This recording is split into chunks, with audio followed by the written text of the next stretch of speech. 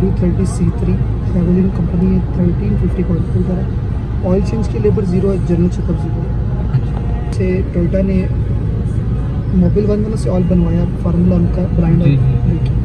as it is M G वालों ने अपना ऑयल हेवलिन वन से बनवाया। सी थ्री और सी फाइव सी फाइव दो फार्मूला